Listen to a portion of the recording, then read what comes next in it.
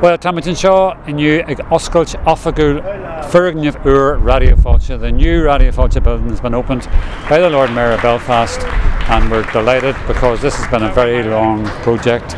Uh, Radio Fáilte is the only Irish language radio station in the north and it's a community station so this is owned by the community. We just uh, keep it open. Most of our broadcasts are done by uh, community broadcasters whom we train here and then they come in and do the shows for this community and by this community. So we're delighted.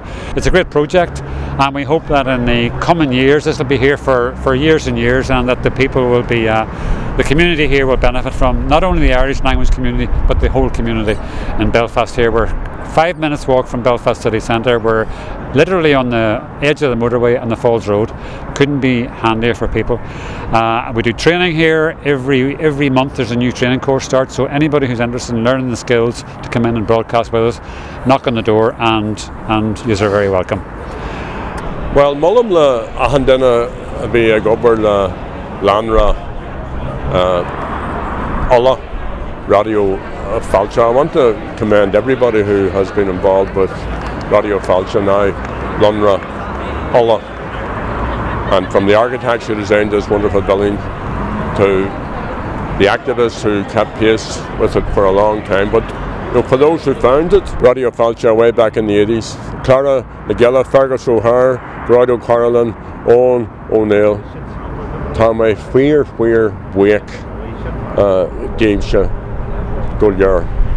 Na duine a chur an uh, agad ará go háirithe uh, céiste an bestiíachta uh, agus tá se go bonú an céiste seo nuair a fur muid get a beag agad, ní le lá agad ach get a beag na a bhádó hen. So seo sean denna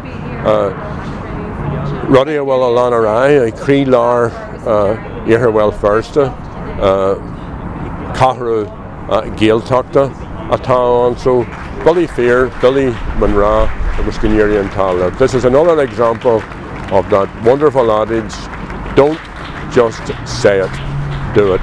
Na habbar he, John. It's great to be here at the launch of Radio Fáilte today, um, and it's a brilliant day uh, with a buzzing atmosphere in the building. And this acts as a gateway into West Belfast. It's an infrastructure and an investment in which Belfast City Council, through our Belfast Investment Fund, has invested £950,000 along with other key partners. And I was glad, as the Mayor of Belfast, to be along for the official opening.